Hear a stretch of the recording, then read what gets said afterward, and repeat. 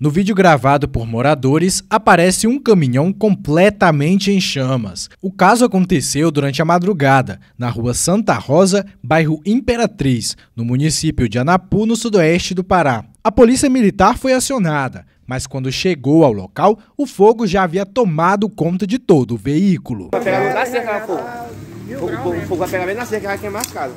Vem pra cá. Vem pra cá, vem pra cá. Vem pra cá. bicho.